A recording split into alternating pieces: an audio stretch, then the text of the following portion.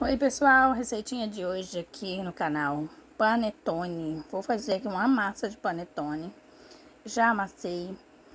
Eu vou deixar na, na descrição do vídeo os ingredientes, tá? Eu estava com pressa, por isso eu não gravei todo passo a passo. Mas eu já deixei aqui, ó, a massa crescendo. E vou modelar os meus panetones, ó. Já modelei aqui os panetones. Outro dia eu venho fazer aqui o passo a passo todo completo para mostrar para vocês como eu fiz esse panetone. Fiz quatro de fruta e quatro de chocolate. Então, foi muito corrido esse vídeo, daí eu não consegui gravar, porque eu estava com pressa. Mas mostrei aqui alguma, alguns passos, né, que eu fiz aqui do panetone. Fica uma receita muito gostosa.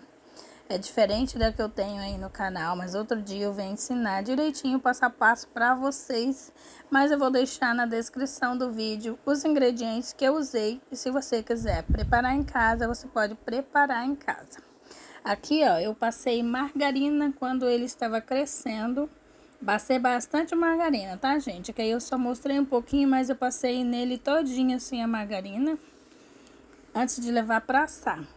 Daí eu esperei ele, crescer um pouquinho mais para poder encher bem a forma para depois levar no forno. Então é isso.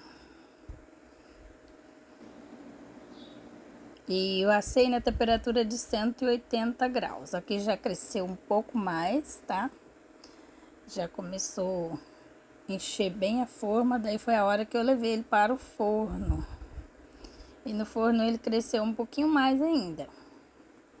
Gente, essa receita fica maravilhosa.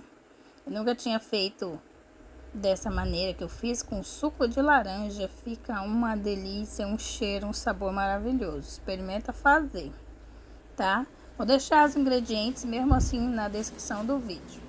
Aqui os panetones já estão todos assados, ficaram assim, ó, lindo, lindo, lindo, maravilhosos.